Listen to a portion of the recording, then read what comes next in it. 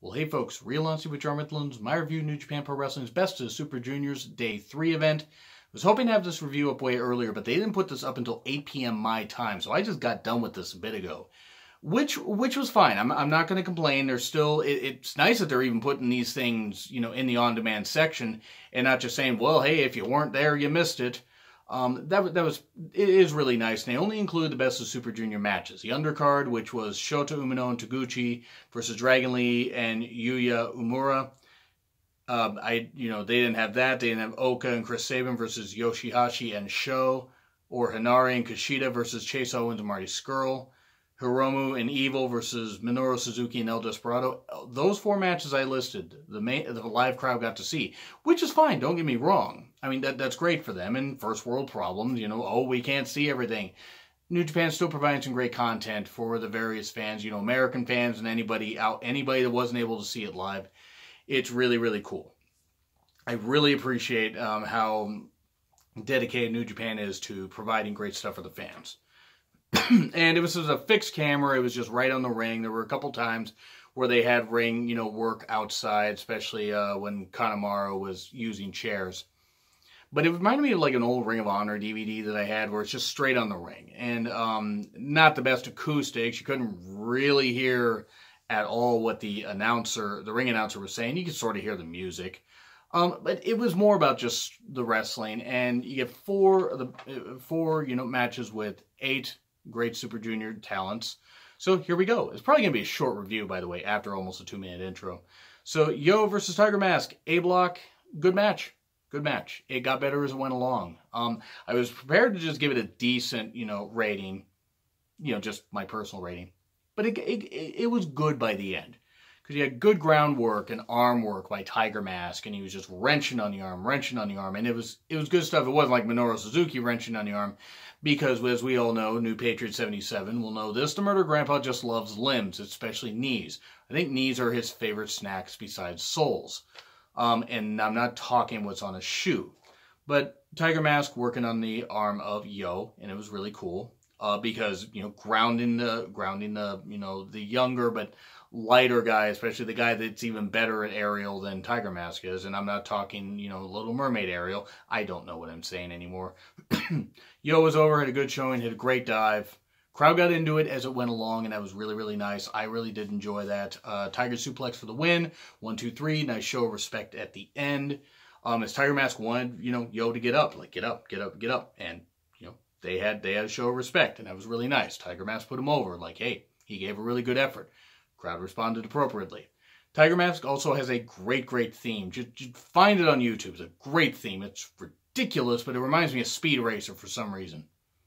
And Speed Racer was ridiculous, especially the Wachowski brothers, siblings, whatever they are now. I, I are they are they both women? Seriously, like can somebody you know clarify that? I know one of them is, but the whole point is the Wachowski siblings directed Speed Racer, and I, I sort of enjoyed the visual um, craziness that it was, even if the movie made no sense. Moving on and going back to the whole thing of New Japan, yeah, Tiger Mask wins. Decent match, decent, decent to good. And th this this match was just okay. This next one, Flip Gordon versus Kanemaru. Um, it was short. I mean, the audio, the the video clip, less than 14 minutes and that's if and that's if you watch everything. If you for any reason just skip past the entrances and cut it right after, you know, the the pinfall, it's about 7 minutes. I mean, and Flip, you know, hit some good dives, flip flop dive. Kanemaru had some great groundwork as is tradition, and Kanemaru's a really underrated worker, and him and El Desperado are a great team great dynamic. You know, Kanemaru being the vicious heel likes to waste alcohol by spitting in people's faces, and Desperado just having a really cool look.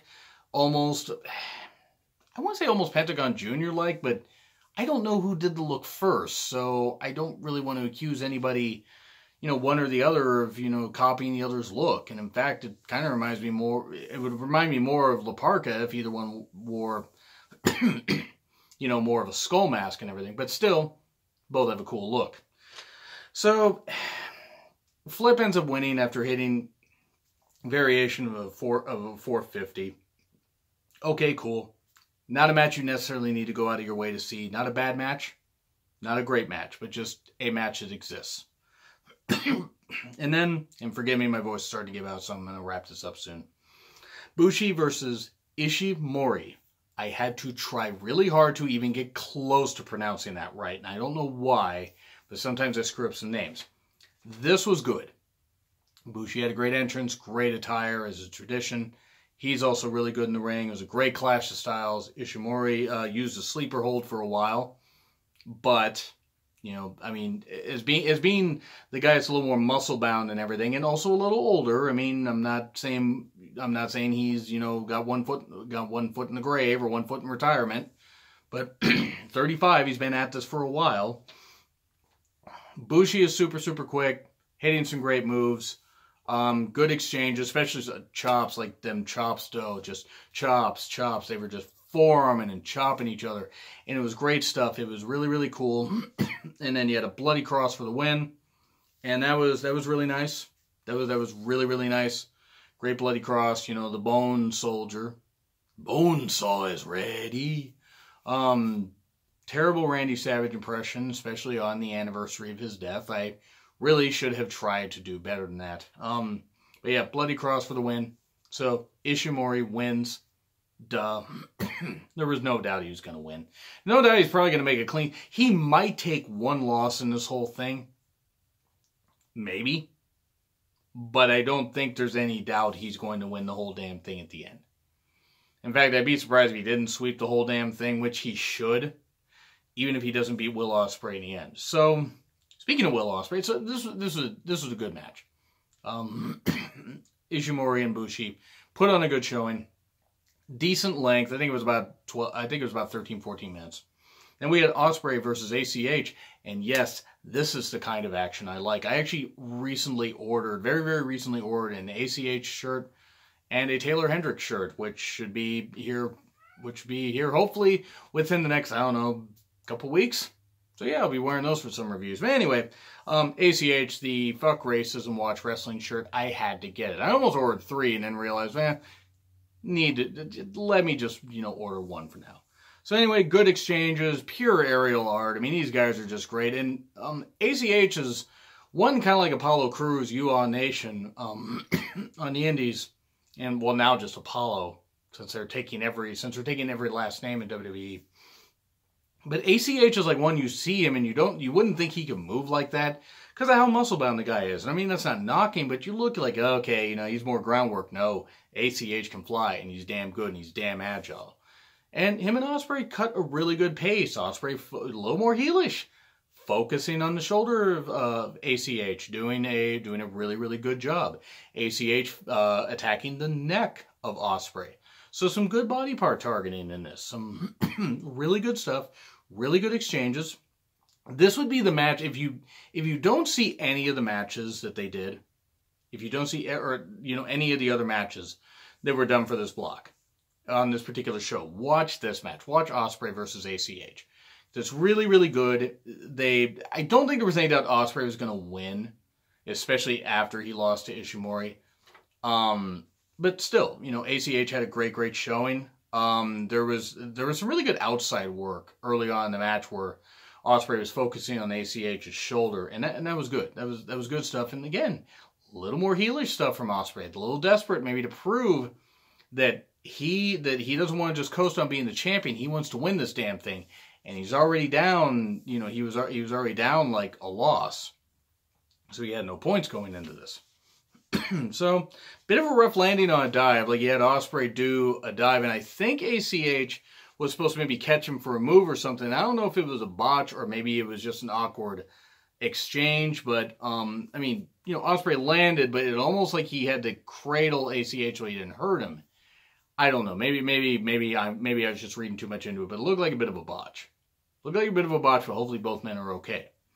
Um, you know, and of course there was, you know, there was just more chops, more great chops and stuff like that. It was it was really good, chop heavy, chop heavy edition of this show and everything.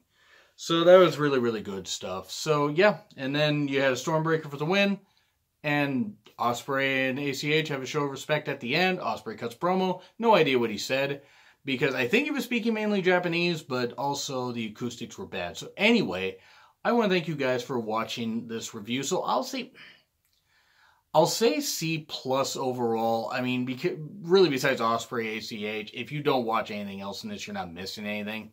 But yeah, uh, go out of your way to at least give it a shot because it's maybe an hour, hour and 15 minutes of your time.